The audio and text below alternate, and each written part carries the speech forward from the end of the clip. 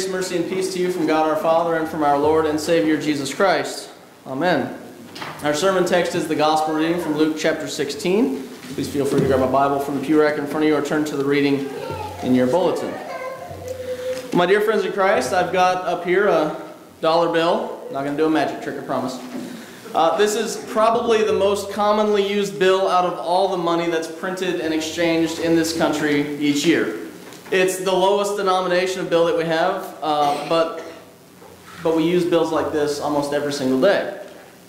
On the, on the front of it, you've got that familiar picture of, of George Washington, our nation's first president. Above him, it says the United States of America, and, and above that, it says it's a Federal Reserve note, and off to the side, it says this note is legal tender for all debts, public and private. You've got serial numbers here on the upper right and upper left hand portion of the bill.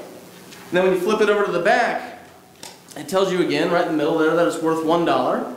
There's the, the Great Pyramid over here on the left side of it, and with the, the Latin words around it that nobody can pronounce, and, and most people have no idea what they say anyway. And then on the right side, you've got the Great Seal of the United States with the eagle, and he's holding the, the olive branches and the, the arrows. And right there, right there in the middle, just above that large word one, you've got the words in God we trust. Now, these words have led to a lot of arguments, especially over the past several years. Some people say that since our country was founded on Christian principles, they should remain there. Others say that it violates the separation of church and state in our country.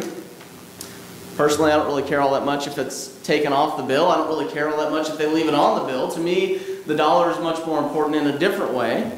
I'm not nearly as concerned with what it says on it. I'm much more concerned that I can use it to pay my bills and, and the things that I need to buy each week.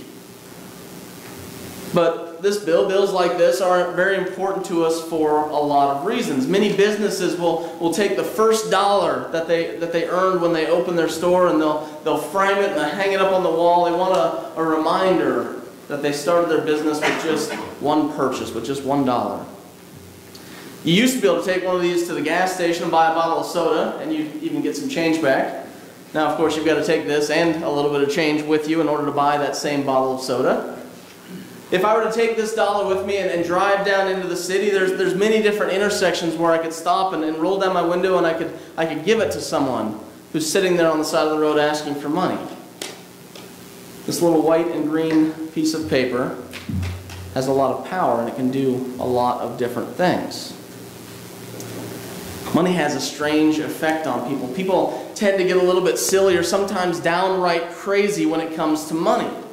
People will go to great lengths to get more of it. People will do all sorts of different things in order to keep as much of it as they can. Money influences us greatly. I mean, we've heard many different stories about people skimming a little bit off the top at their jobs. They might only take a few dollars at a time, but it adds up, and eventually they wind up with several thousands of dollars, and they often end up getting caught and getting into trouble for stealing. And once in a while, you'll hear a story about someone finding a, wallet or a bag full of money out on the street and returning it to its rightful owner. Although I'm sure the vast majority of the time, if someone finds money just lying around, they probably go ahead, put it in their pocket, and move on with their day. In many, in many businesses in our country, you're encouraged to work hard for the company to make them as much money as you can. And, and sometimes there's incentives for doing that. They might give you a little bit extra money if you make them a certain amount during a certain period of time. Money, as they say, makes the world go round. Well, things were very similar during the time of Jesus. People wanted to make as much money as they possibly could. The more money they made, the more power they had, and the easier their life was. The more money they had, the, the more people they had to take care of them, and, and their lives were more luxurious. And often people had other people to manage their money for them. You might have someone who owned a large amount of land, and, and what they would do would be to rent that land out to local farmers. And the local farmers would be allowed to farm on that land, and then when the harvest came, they'd give a portion of the harvest to the landowner. Well, much of the time, the landowner didn't really want to mess with the day-to-day operations, and, and they didn't want to deal with all these peasant farmers. So he'd hire someone else to manage each one of these renters. He'd put them in charge of making sure that everyone paid exactly what they owed. And that's the story that Jesus is telling today. He's telling the story about a rich landowner who had a manager who was handling all of his all these accounts. This manager had been put in charge of making sure that each one of the renters paid what they owed when it was time for the payments to come in. Jesus tells the story that this manager was lazy and wasteful. He wasn't doing his job properly and he was costing the rich landowner a lot of money. Now, Jesus isn't specific about how he was wasting the owner's money, but you can imagine that he wasn't collecting debts or he was, he was skimming a little bit off the top or, or something. And so when the rich landowner found out about it, he went to the manager and he told him that he was fired. He wanted him to clean out his desk, turn in his ID card, and be out of the building by 5 o'clock. And that left this manager with a dilemma. He'd been living the high life as a manager. He wasn't really working all that hard, but he's making good money. And now he's facing the unemployment line. And he knew himself well enough to know that he wasn't suited for hard labor and he was too proud to sit on the street and beg for money. So he came up with a plan that was going to keep him from having to do either one of those things. He was going to save some of the people who were renting the farmland some money. And in return, he knew that they were going to take care of him after he got fired. They were going to, to feed him and give him a place to stay when he needed it. So he took their debts and he cut them down. Jesus tells us that one of them he cut in half and another one he cut by 20%. And you can imagine that there were probably a lot of renters that he managed, so he probably spoke to every single one of them and cut their debt down so they would owe him one. Well, this manager, he'd already been costing his boss money. He's been wasteful with his boss's money. He's been stealing from his boss. And now he makes this extremely bold move and actually causes his boss to lose even more money. And he, and he does it as he's on his way out the door. This, this manager is a thief. And Jesus praises him for it. In verse 8, Jesus says that this manager's boss commended him for being so smart and, and using his resources to make friends so that he wouldn't be out on the street when he got fired. And then in verse 9, Jesus says, And I tell you, make friends for yourselves by means of unrighteous wealth, so that when it fails, they may receive you into eternal dwellings. Jesus is standing here in front of his disciples telling this story, and it seriously sounds like he's encouraging them to break the seventh commandment you shall not steal. But that's not quite the point that Jesus is trying to make here. Jesus isn't telling us to go out and, and steal from people and use other people's money in dishonest ways. He's not telling us that we should lie and cheat and steal and do whatever it takes to make as much money as we possibly can. So if that's not what he's saying, then what point is he trying to make here? Let's take a little bit closer look and see if we can't figure out what's going on with this very confusing sounding parable. Looking back at verse 8, Jesus says that the wealthy landowner commended this manager for his shrewdness. Now, he commended him, meaning that he was impressed by the way this manager got himself out of a jam. He was impressed by his ability to sidestep this landmine that was laying right in front of him. But even though he was impressed, it doesn't necessarily mean that he agreed with what he'd done. I mean, this wealthy landowner had just lost even more money because of this manager. He may have been impressed by his quick thinking and his action, but he was most likely very annoyed or angry about losing even more money. But this manager, he was, he was motivated. He had no desire to be out on the street begging for money. He had no desire to go and do manual labor in order to maybe get enough food to eat each day. He was motivated to keep himself living the lifestyle that he had become accustomed to. And I think we can all relate to that. We can relate to being motivated to, to make enough money to pay our bills. We can relate to being motivated to make enough money to take a nice vacation. We can relate to being motivated to make enough money so that we can do fun things and not worry about where our next meal is coming from. And that's the point that Jesus is making here. He's telling us that if this manager is that motivated with something like making sure that he didn't have to beg for food or money or making sure that he didn't have to do hard work in order to survive, then we should be motivated even more in our faith. And think about this with me for a minute. We work our tails off for so many things. We're willing to work hard so we can have a nice house and a nice car. We're willing to work hard so we can do certain things that we enjoy, like going out and playing golf or, or going to a concert or going out to eat with friends or whatever it is you do. We're willing to work so hard to put money in the bank so that we have enough to rely on just in case things go south and we lose our jobs or we've got some big bills that come up unexpectedly.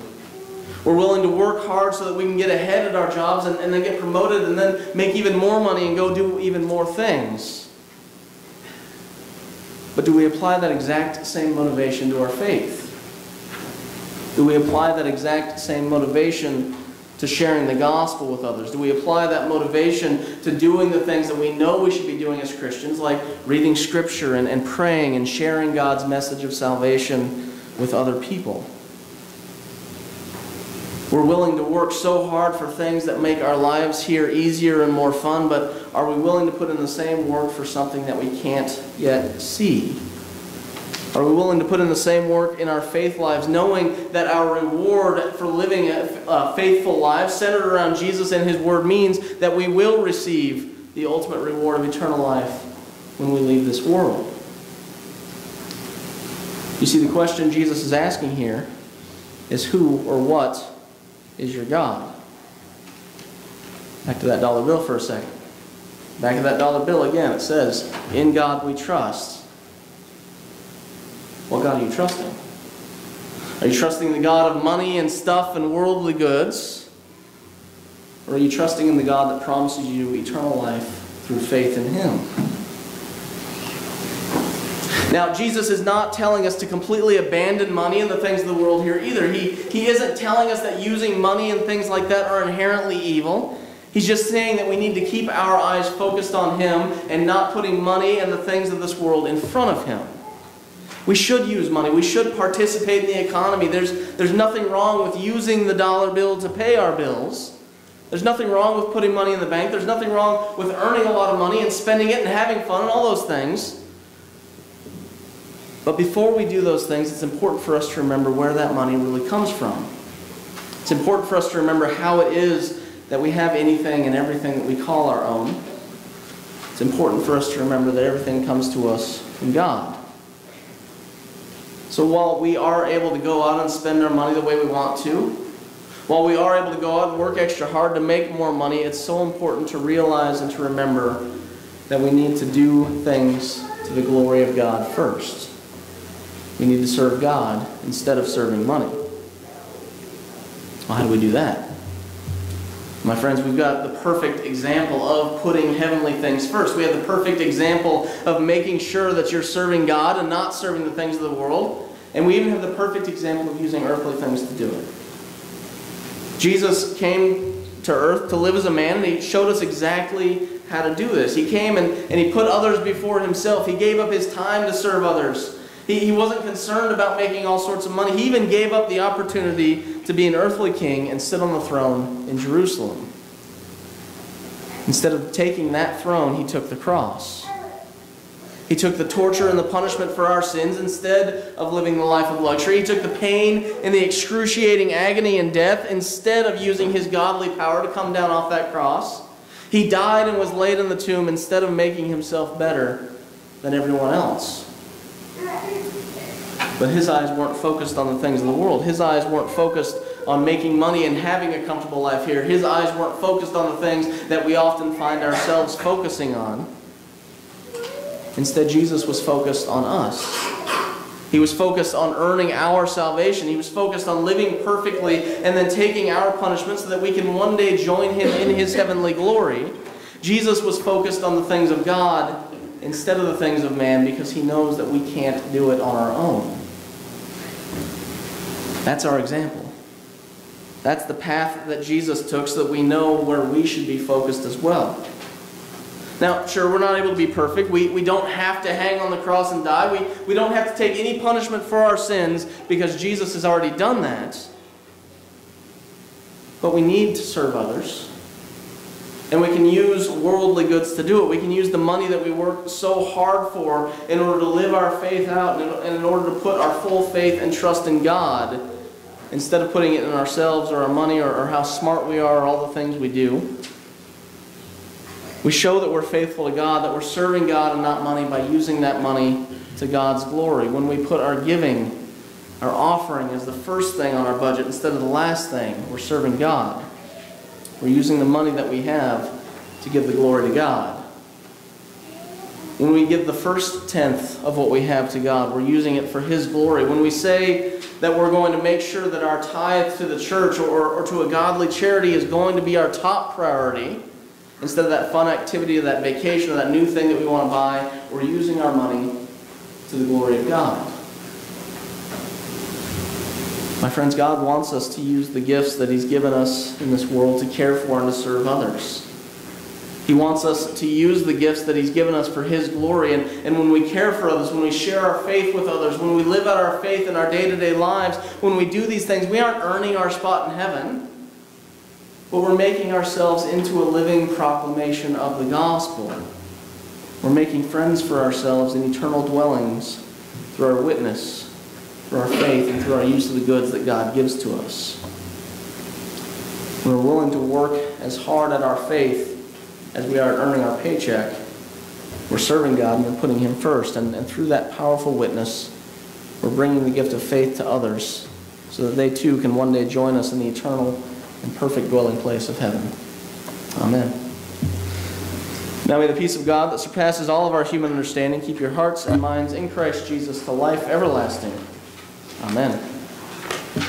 Please stand with me as we go before God in prayer.